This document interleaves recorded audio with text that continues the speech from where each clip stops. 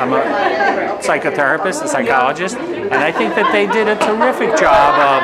uh, bringing it forth uh, and something that people could take from this,